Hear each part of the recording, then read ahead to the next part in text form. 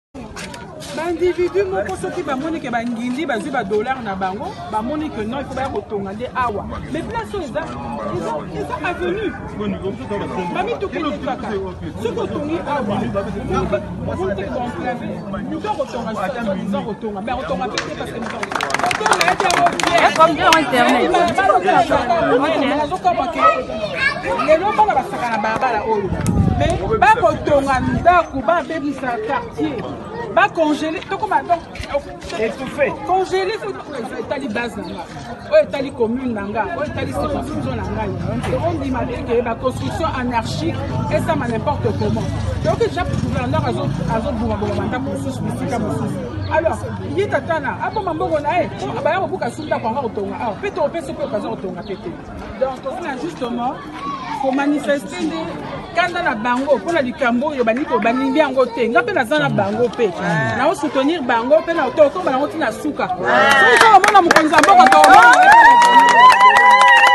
Normalement, est-ce qu'on va le par rapport à Batutu, Bakonzi, Nyon, Soro, Bazola Allez sur YouTube, tapez juste Abita Making officiel, vous allez voir la chaîne euh, va apparaître. Donc, euh, appuyez juste là où on a écrit abonné. Donc, euh, abonnez-vous massivement là. Tabitha Makingo, moi c'est Apembe. naseki e nzambe naseki mpo nalekake na aspect nalekake na kolata nalekelaki bomwasi makasi sobo libo comprendre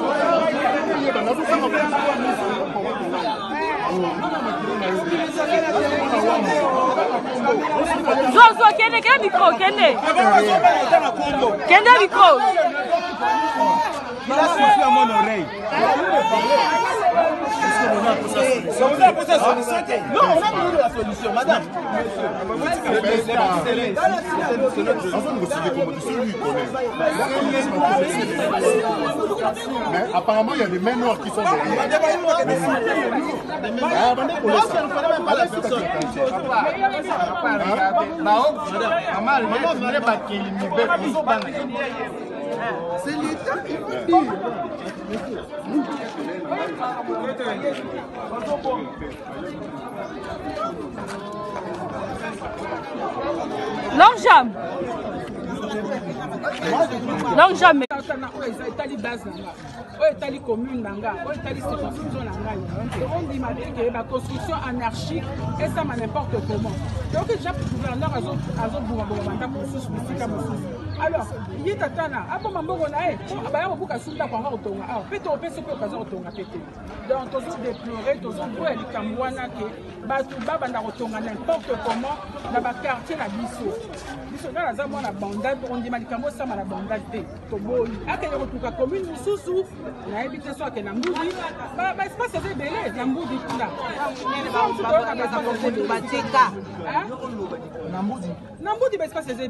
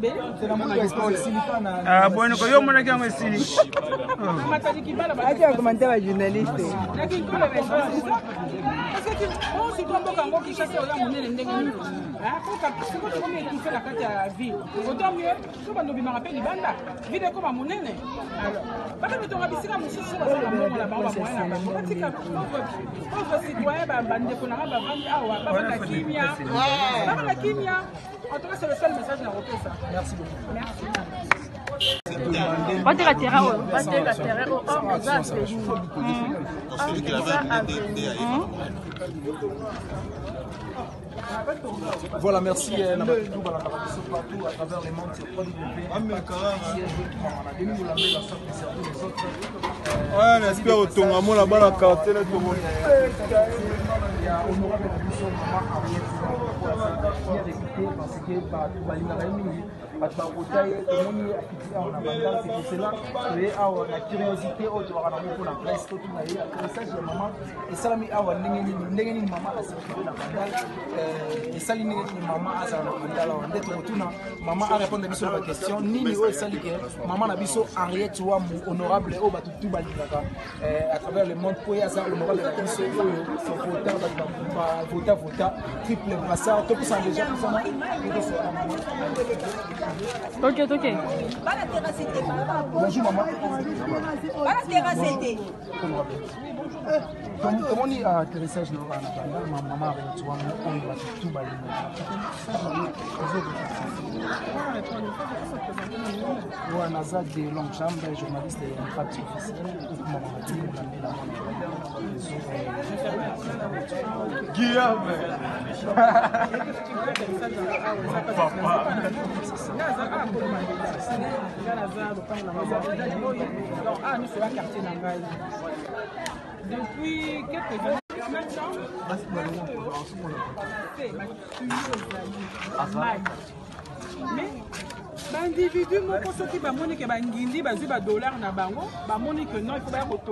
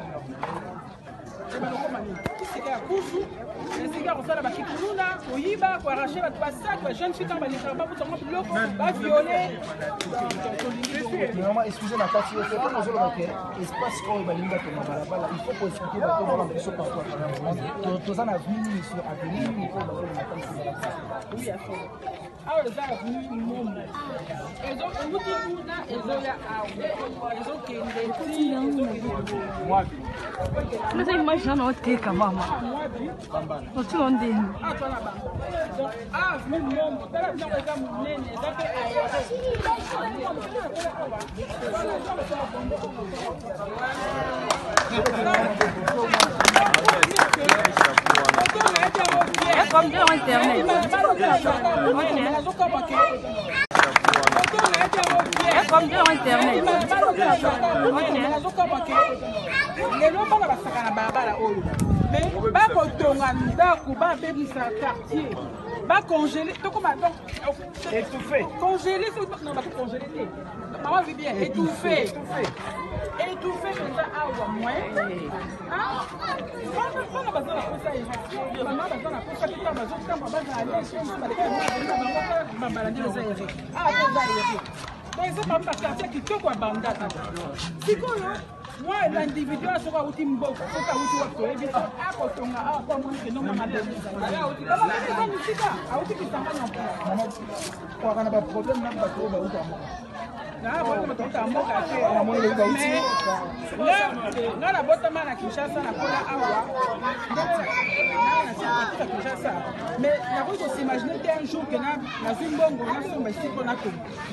mpo nayebi ke place oyo tozala mpe na mwa bisika mpe tokotika mpe totongi eloko te ezaka esika moko bongo na kitoko na place oyo ozoleka mituka ekoleka ta mibale mosatu baza alaise mais soki ntango ozomona kende outi kuna epai nao na mboka oye awa bimaso place eza na espace fo otonga mpo oza na dollar donc soki na comprendre bien bato bauti mboka bayebi te ndenge oyo ezalaka na yango bazokoyango wana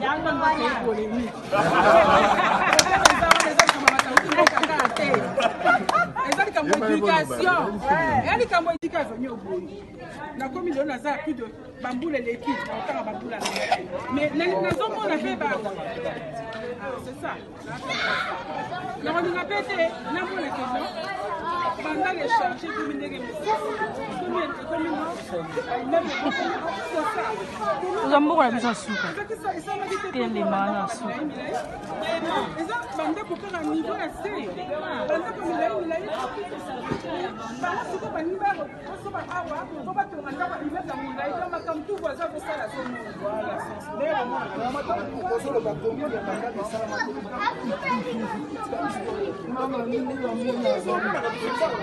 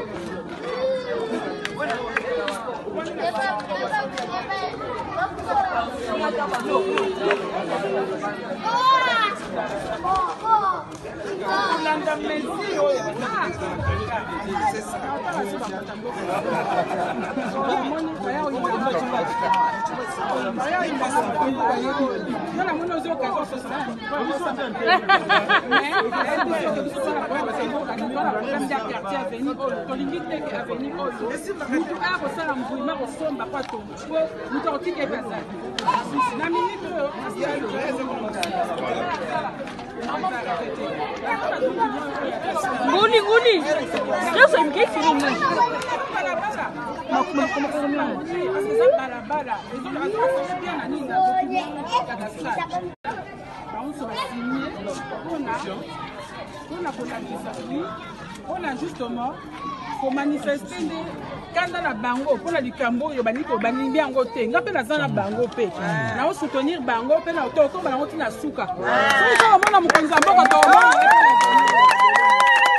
Maman, est-ce que Ogoloba un mot par rapport à Batutu, Bakonzi nyonso oyo bazo Iba basali mikanda wana ya faux. Bato wana kuba kangama. Est-ce que okoyebisa bango un mot moko oyo boza fort? Avocat mbiso alobaki maomela bana ya bandali. Komabelo nyonso ezali yango.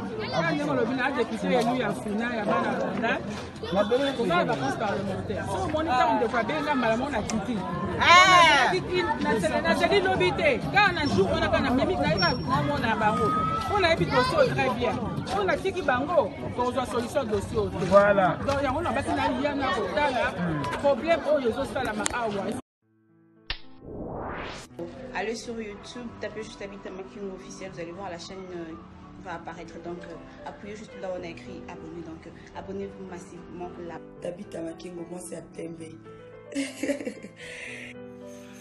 naseki e nzambe naseki mpo nalekaki na aspect nalekaki na kolata nalekelaki bomwasi makasi soboni bocomprendre yango alors bosabone na tabita makengo officiel ah!